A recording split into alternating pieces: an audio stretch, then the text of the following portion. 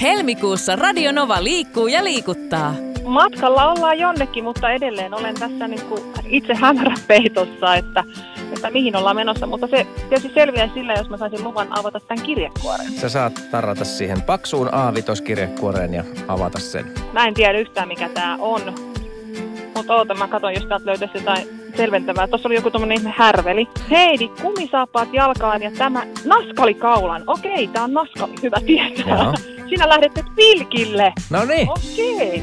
Pääset nauttimaan ihanasta merellisestä aamusta, kun pilkkiämme Juha vie sinut kala-apajille.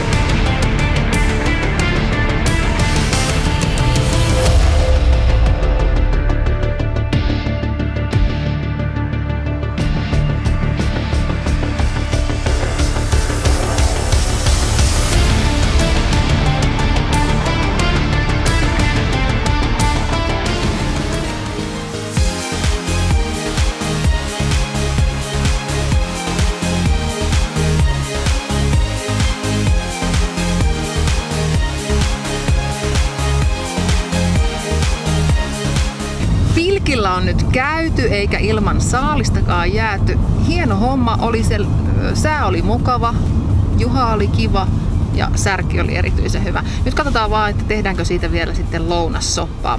Mutta huomenna katsotaan se, että mihin lähtee Virtasen Janne ja mitä lajia suorittamaan.